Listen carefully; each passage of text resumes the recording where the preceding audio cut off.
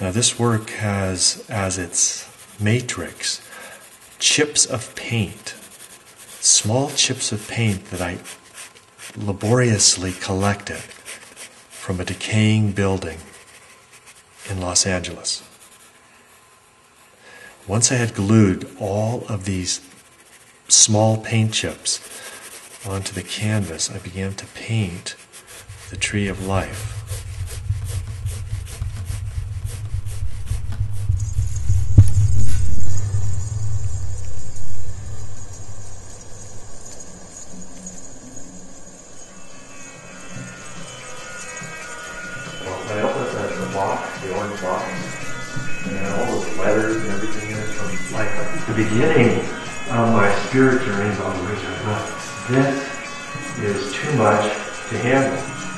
One little piece. But that one little piece is so heavy to so heavy when I would see writings by people who actually didn't mean what they said when they wrote. But throughout my visual life, it was also a sound life. 83, I played in a group. We, we call ourselves Hit Machine. And of course, we weren't any hits, but the idea was that we would play small clubs and have a group of topless indigenous women playing bongos and congas behind us while we showed National Geographic footage of wild places on the earth, giving totally of ourselves every time the machine went on.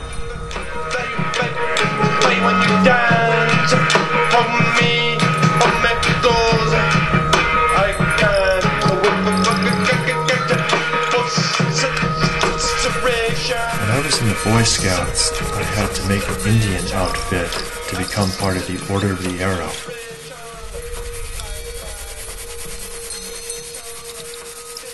When I became an artist in residence at the Exploratorium Art Museum in San Francisco, I had to have a magician costume.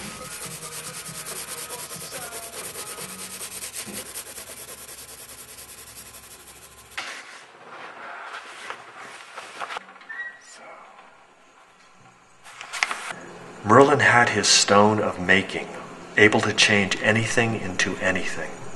I want the stone of crying, able to make me feel like crying all the time, able to make tears fall, able to stop the world of illusion. The stone of crying is held in the eyes. The stone of crying is not held back. It is free to move you to tears, it is free to rock your world. With the stone of crying, I would set the world free. I would lay it at the feet of Israel. I would lay it at the feet of Palestine. I would lay it at the feet of hate. I would lay it at the heart of stone.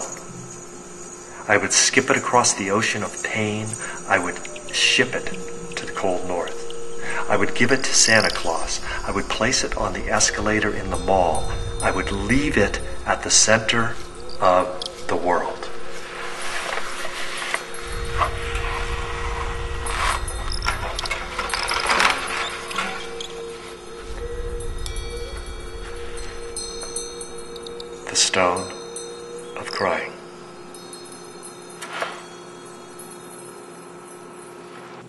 The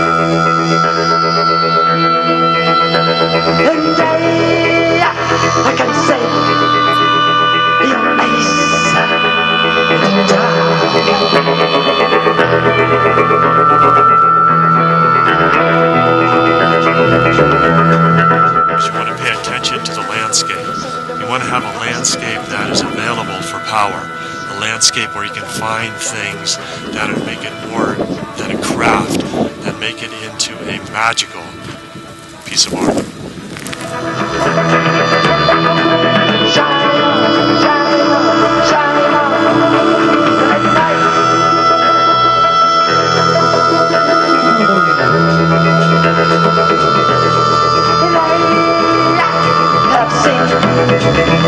Its sun, Thank.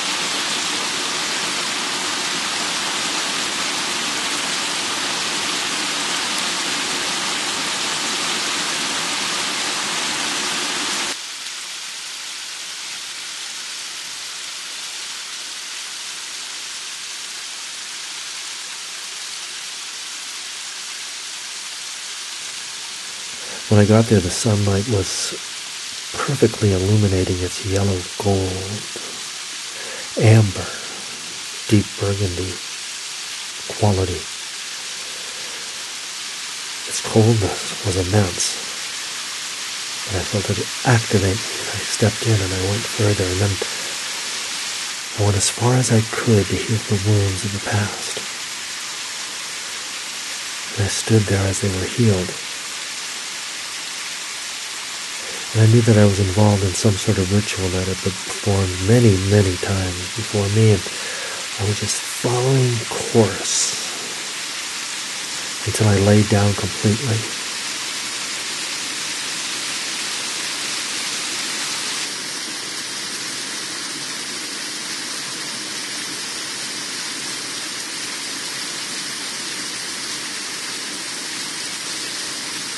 And then I saw the eagle.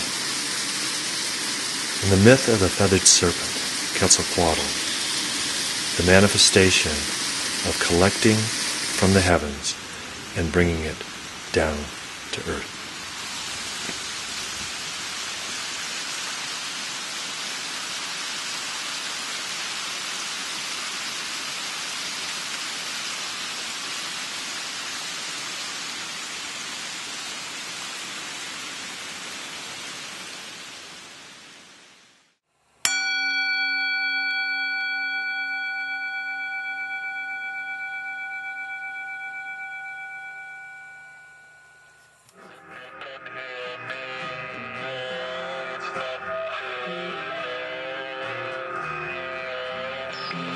I wanted to get the flavor of the master Japanese ink artists like Hokusai and how they added mystery and eroticism and directness in their Zen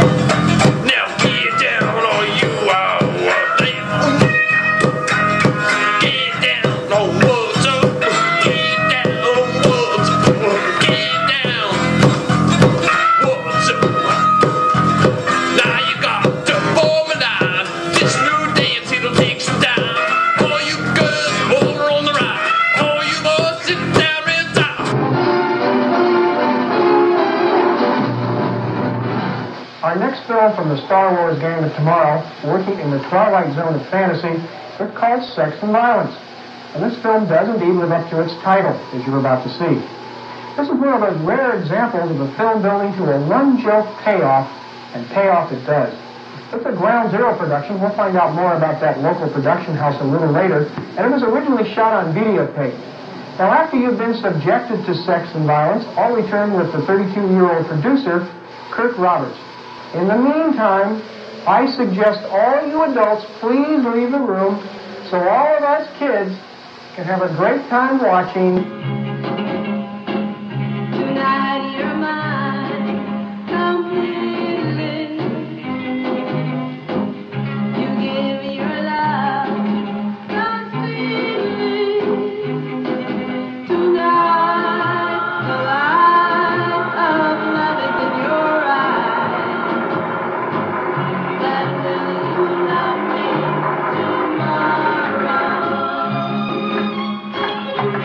Sue.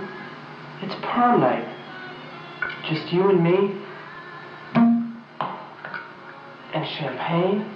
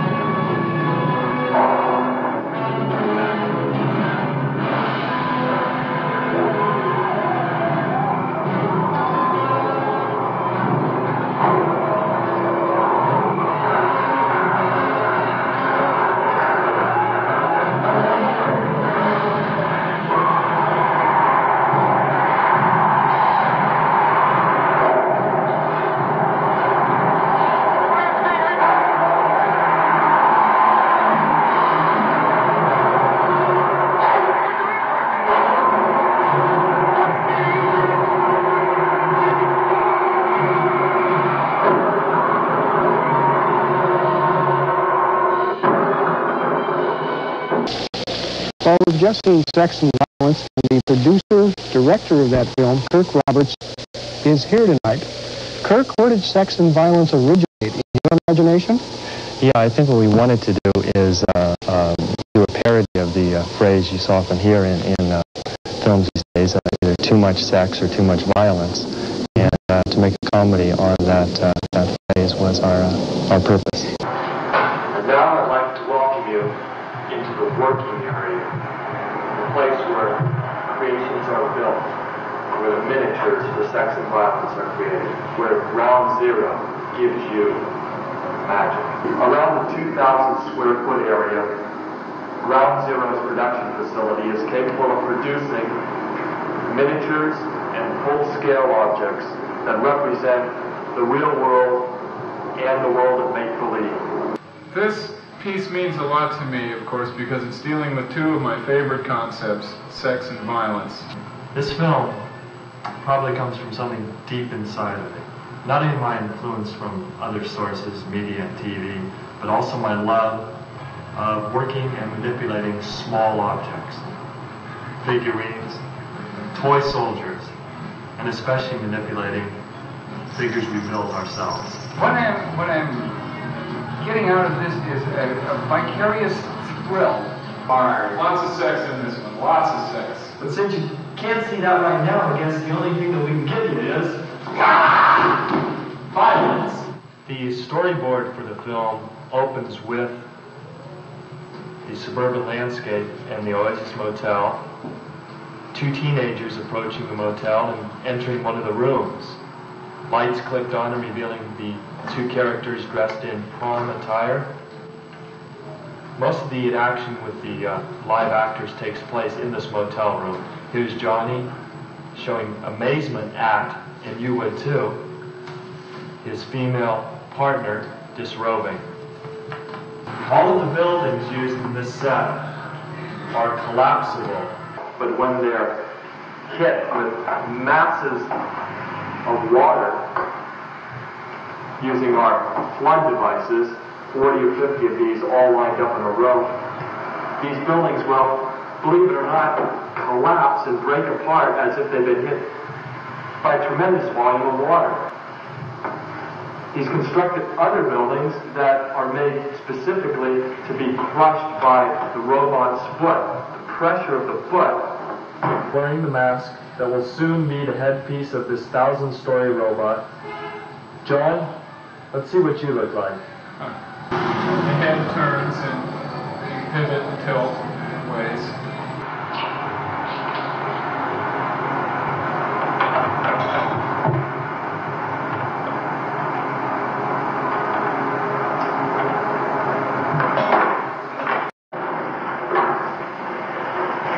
brought to life like a palm tree to create masses of people running throughout suburbia in the miniature.